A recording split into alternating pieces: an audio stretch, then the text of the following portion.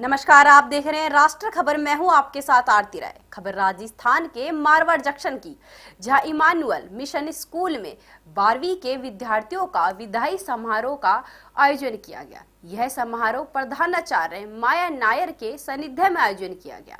इस मौके पर प्रधानाचार्य नायर ने कहा कि विद्यार्थियों जीवन, व्यक्ति के जीवन में सदैव सीखने का होता है।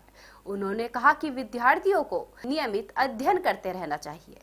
इस दौरान अध्यापिका सिन्नी राय ने बताया कि बारहवीं कक्षा के बच्चों को विदाई देते हुए एक से एक बढ़कर सांस्कृतिक कार्यक्रम की प्रस्तुतियाँ दी गई।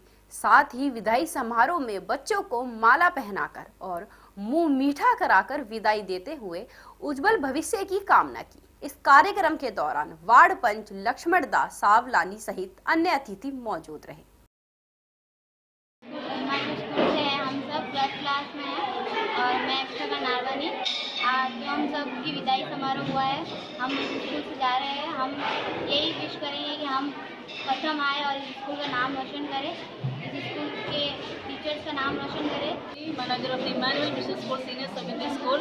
I highly expected this whole people you are uh, going to our from our school to the college campus.